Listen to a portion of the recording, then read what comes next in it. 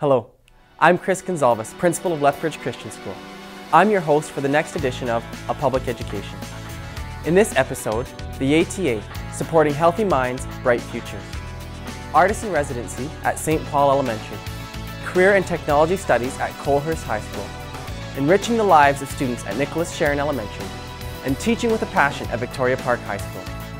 A Public Education, Saturday at 6.30 on Global Lethbridge.